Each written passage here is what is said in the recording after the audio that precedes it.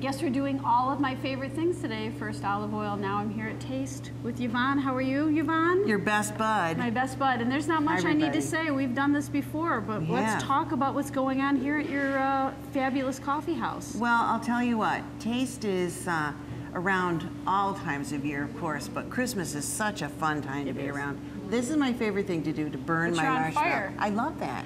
I've gotta char it. You're making me nervous. See, the bigger the better. Um, actually, the thing we do here at Taste is make these wonderful s'mores right at the table. We can do it anytime. But also, the neat thing about Taste is during the holiday, we have this cool sandwich coming up. Guess what it's called? Tell me. Stuff Stuffing the bird. Oh yeah. Yeah. I tried some of that. That's yes, wonderful. it is really good. It's, it's in a tradition, Mm-hmm. and we only have it in November and December.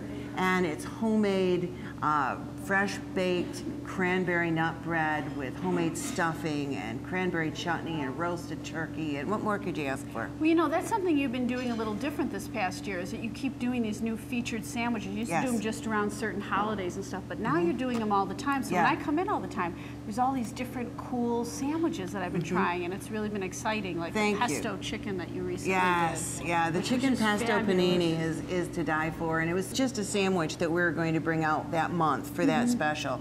But people were going crazy over it, so Mm-hmm. Yeah. we kept we're keeping it That forever. fresh homemade pesto and everything, Yeah, it was just, yeah. it was wonderful. Thank it you. was wonderful. So. You know, that's the neat thing about East Aurora. There's so many quaint shops that make things from scratch that have a very neat, unique ambiance, and I think you get that here at Taste. Absolutely. Um, there's a lot of um, neat things for Christmas that are just going to be quick little pickups and hostess gifts and stocking stuffers. You know what's really neat though? I mean, like we took our daughter into town the other day. My husband and I came here on a Friday night, and you had the music playing. And it was kind of nice. We stopped here, had a coffee, just spent 20 minutes, half hour, and it was just a nice wind down. There's so many things going on. People could just pop in while the kids are running around doing music lessons or something else, and come here.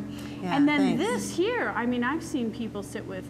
Uh, with their boyfriends, their husbands. I've also seen moms come in with their little kids and they sit and they do this together and they talk and Business meetings. Business meetings, yeah, that would be a That's really fun. neat thing for a Yeah. business meeting. It's so. a lot of fun, something a little different. You know, we're also be- going to be opening, hopefully in the spring, we're going to be opening a beer and wine bar. Mm-hmm. So it's really going to be opening a lot of neat things here at Taste, not only to offer that for our lunches and through the evening, but now that means we're going to do some appetizers and maybe a saute menu. It's, it's going to be kind of fun. So it's a great place to wind down Mm-hmm. or relax and sit and visit with people. So when people want to get, I mean, you should know where Taste is, but if you don't, Yvonne, where are you? Well, you have to look for a great big huge steaming coffee cup in the front of the building. We're mm-hmm. right on Main Street in East Aurora, 634 Main Street. Of course, in the winter, we turn the steam off. We don't want anyone slipping on the ice. But it's a great big coffee cup out there calling your name. Come on in and join us for some coffee inside as well. Absolutely.